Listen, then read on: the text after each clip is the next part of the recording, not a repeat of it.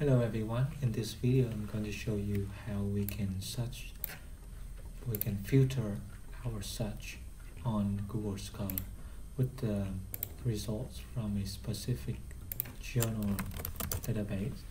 I'll show you what I mean. For example, um, you can see I am searching for the term extensive reading and the results turn out to be from different database. For example, this one is from Semantic Scholar right this one is from Eric um, this one is from academic this is from Oxford University. Um,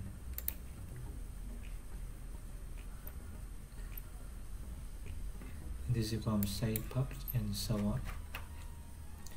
Alright now you can search for teacher education. You will see better what I mean.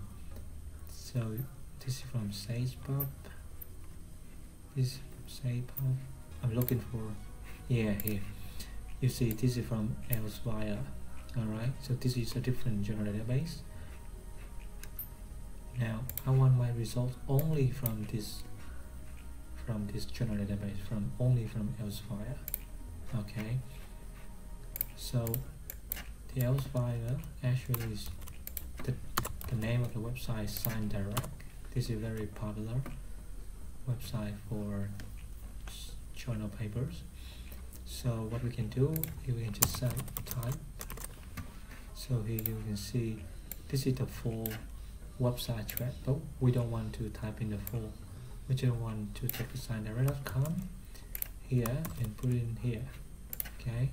And you will see all of my results will be from this L file alright alright very simple but very interesting. Okay. Um, similarly you can just choose another database. For example the next one is Taylor and Francis. You just replace this one with the Taylor and Francis.com and now we have all of the you know all of the results or filter only from the Taylor and Francis publication. This is to me very interesting and I think it, it may be useful to you. Um, the same thing for this is the PubMed. The PubMed is mostly the database for medical research. Um, but the same thing we can just copy its uh, URL, put it in here, and there we go. Now you see the result only from this database okay.